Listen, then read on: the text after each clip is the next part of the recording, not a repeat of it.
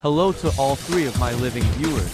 Since the last mid video dropped two months ago, I've been on a break, but now I'm back, and on the 1st to the 7th of September, there will be daily uploads for a new event called Cars Edit Week, where every day at PM PST, a old Cars Edit is released. The last two are new but still grab your unheated sludgy and burn sludgy for Cars Edit Week.